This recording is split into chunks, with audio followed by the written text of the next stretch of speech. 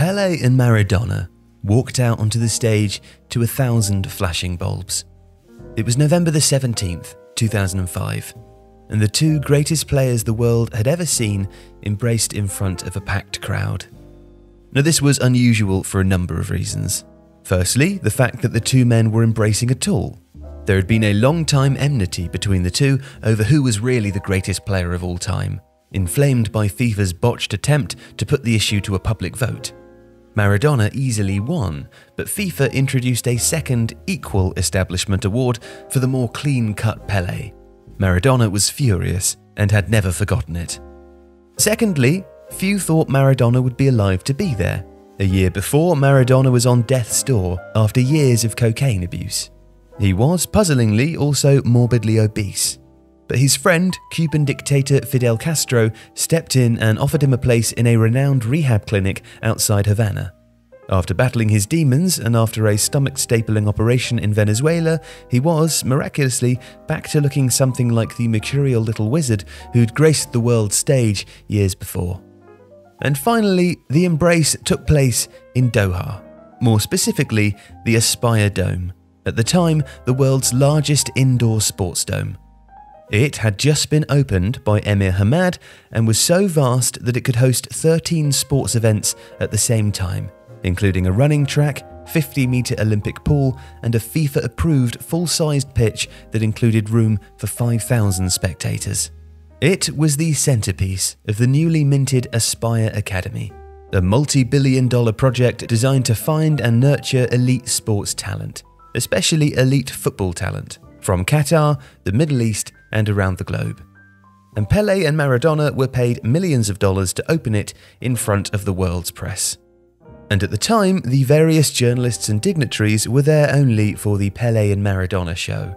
The Aspire Academy was little more than an afterthought, presumed to be a hugely expensive leisure centre that would no doubt in time become a white elephant in the desert. But instead, Aspire would grow to become a central figure in the next chapter of Qatar's history, one that would use sport as a nation building tool and utilise Aspire in its seemingly quixotic efforts to host a major international sports tournament, be that an Olympic Games or a World Cup finals. But on that day in November, that ambition seemed ridiculous as Maradona shocked the crowd by talking about his formerly prodigious cocaine consumption, railing against the press in third person for wanting to kill Maradona, and comparing himself to Osama bin Laden. But that ambition wouldn't seem ridiculous for long.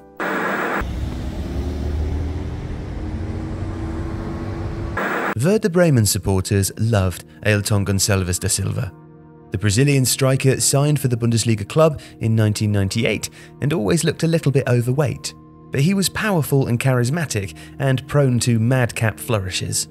It was rumoured, for instance, that he would spend 100,000 euros a month on clothes, and he always gave unforgettable interviews that segued from Portuguese to German and back again, leaving one journalist interviewing him flummoxed. Because of his large frame and surprising pace, he was nicknamed Kugelblitz, the German word for ball lightning, sometimes called St. Elmo's fire. One day he would play as if he was the best forward in the world, and the next day he couldn't be bothered to turn up for training. But then, in 2003, it all came together. Ailton was taking the Bundesliga by storm. By 2004, he'd scored 28 Bundesliga goals and won the league and cup double for Werder. Big European clubs started to take notice. Still, despite being one of Europe's deadliest strikers, Ailton was ignored by the Brazilian FA and was never called up for the national team. But there was one country that was paying attention.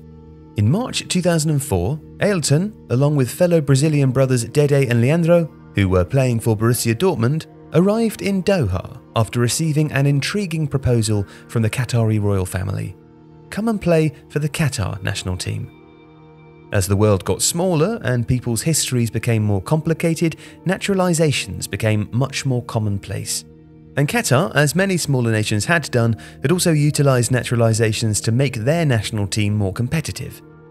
Despite having got to within one goal of qualifying for both Italia 90 and France 98, Qatar had not yet qualified for a World Cup finals.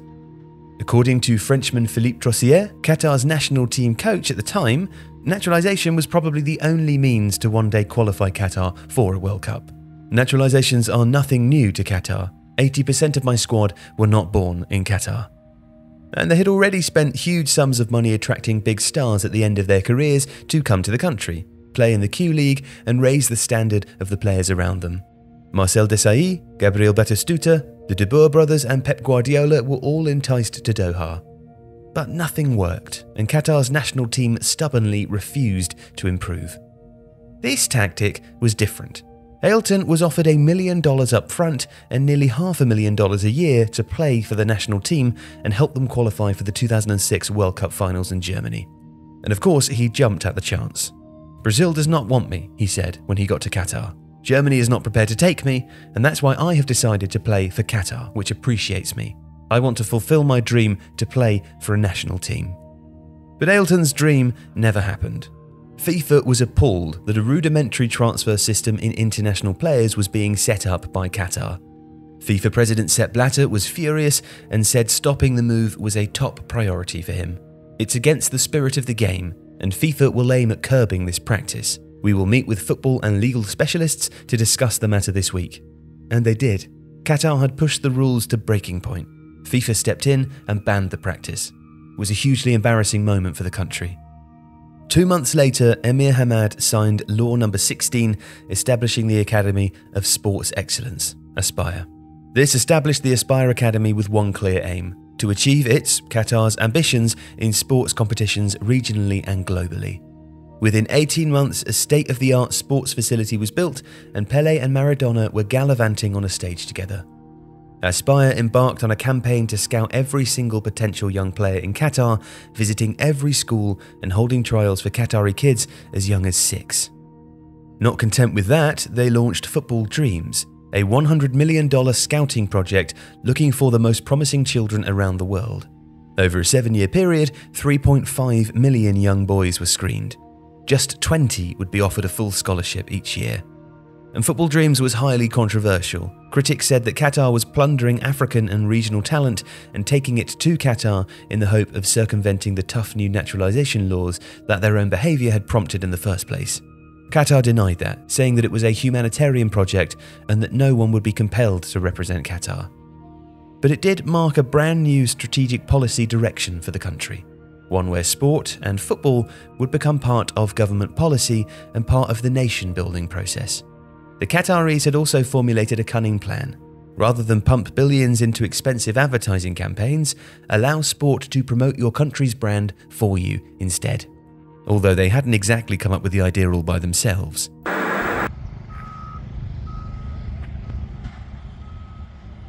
The UAE, and especially Dubai, had been particularly successful in leveraging sport to advertise itself to the world. Dubai was one of the UAE's seven ruling emirates, with Abu Dhabi the seat of power. From the 1990s, under the effective rule of its young, Western friendly ruler Sheikh Mohammed bin Rashid Al Maktoum focused on trade. He also oversaw Dubai's remarkable transformation, while his shy brother Sheikh Maktoum bin Rashid Al Maktoum was technically in charge until his death in 2006. It marketed itself to a global audience as a glitzy place to live, buy property, and holiday, despite being part of a rigidly Islamic legal system and whose summer months were too hot to even step outside in. It was a necessary economic move. Abu Dhabi had most of the oil, 95% of the country's oil reserves, which in itself made up between 7 and 9% of the entire world's oil reserves, and it also had the real power. Dubai's reserves were tiny in comparison and would soon run out. By 2006, just 6% of Dubai's economy was dependent on hydrocarbons. Dubai, like Qatar, had to prepare for a post hydrocarbon world. And Dubai had achieved incredible international exposure with the help of sport. They hosted the world's most expensive horse race, the Dubai World Cup. There was a PGA Tour event where Tiger Woods regularly appeared, and the Dubai Tennis Championship, where Roger Federer regularly won titles. Dubai's name, and that of its state owned companies like Emirates Airline, started appearing on football shirts and on football grounds in Europe Emirates Airline had been, at one time or another, the main shirt sponsors of Chelsea, Arsenal, PSG, Real Madrid, Benfica, and AC Milan. It was a major sponsor of FIFA and the World Cup, as well as the world's oldest competition, the English FA Cup.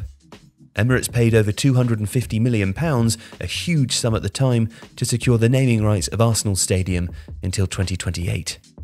And in 2007, it went a step further when Sheikh Mohammed, a man who loved horse racing and had spent millions of pounds building the Godolphin Racing Stables in Newmarket, attempted to purchase Liverpool FC using a sovereign investment vehicle, Dubai Investment Capital. It was seen as the next logical step soft power and promotion through football. Sheikh Mohammed, the absolute ruler of Dubai, vice president of the UAE, and one of the richest men in the world, had seen the benefits of owning a football club and using it to enhance brand Dubai. And the purchase of Chelsea by Roman Abramovich had changed the game. The huge amounts of money spent transforming Chelsea into champions, with little regard for profit or loss, had never been seen before. The Premier League, as well as the UEFA Champions League, had attracted a new generation of billionaire owners from the US, Asia, the Middle East, and beyond, all attracted to the huge global popularity of soccer. Not to mention the booming TV rights deals, which they rightly predicted would continue to increase in value. They saw soccer as the biggest and most effective advertising real estate in the world, whether you were selling shoes, holidays, or a new vision of your country. And buying Liverpool would be the biggest coup yet. But the sale never happened. The club instead turned to two American billionaires, Tom Hicks and George Gillett, who would have a brief but disastrous ownership of the club before being forced out. Still, thanks in no small part to celebrity sporting endorsements, Dubai had put itself on the map. And Qatar decided to follow suit with its own tennis championship, the Qatar Open, golf tournament, and most importantly of all, its star packed football league. Qatar even managed to win the bid to host the 2006 Asian Games, the smallest country ever to do so.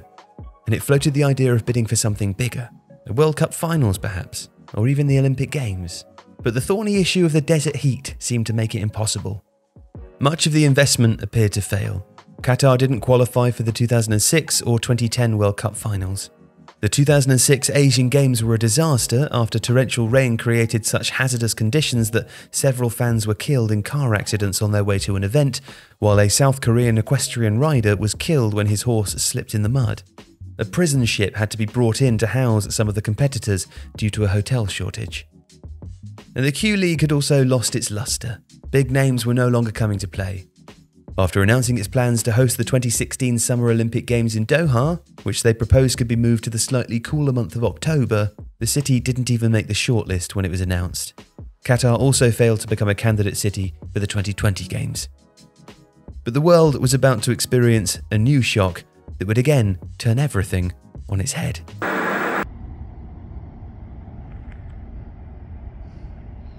In 2008, the world was careering towards a global financial meltdown, triggered by toxic mortgages in the US. When it hit and asset prices tumbled globally, Dubai was hugely exposed. The emirate had largely relied on real estate and debt to fuel its great leap forward, while Abu Dhabi had the actual money in the bank from years of high oil prices. Dubai's economy teetered on collapse, and a humiliating bailout had to be brokered with Abu Dhabi. The UAE president, Sheikh Khalifa, convened a meeting between Dubai's Sheikh Mohammed and the Crown Prince Sheikh Mohammed bin Zayed. A $10 billion bailout was agreed. In return, Sheikh Mohammed agreed to name his prestigious new building project, Burj Dubai, the tallest building in the world, the Burj Khalifa. Meanwhile, Abu Dhabi went on a spending spree, sensing that there were bargains to be had. They'd watched Dubai's attempted purchase of Liverpool closely and in August 2008, Sheikh Mansour bin Zayed Al Nahyan, the UAE's Deputy Prime Minister and brother of the Crown Prince, announced that he was buying Manchester City. A few days later, City finalised the purchase of Brazilian international Robinho for a then staggering £32.5 million, just before the transfer window shut. When it opened again in the following January, the club spent another £50 million. In 2011, City made the largest single season loss in the history of English football £197 million, but also achieved phenomenal success on the pitch, all the while playing in shirts and in a stadium named after Etihad Airways, the UAE's state owned airline. Abu Dhabi would no longer be in the shadow of its glitzier neighbour. And although Sheikh Mansour has always claimed that City was a personal project and not a state owned club, it was still every bit as transformational as Abramovich's arrival in 2003. The people brought in to run Manchester City were the same people that ran Abu Dhabi's political affairs and its multi billion dollar investment vehicles. Now, football clubs were a matter of state. Football was about to begin the sovereign age, one which Qatar was soon to join.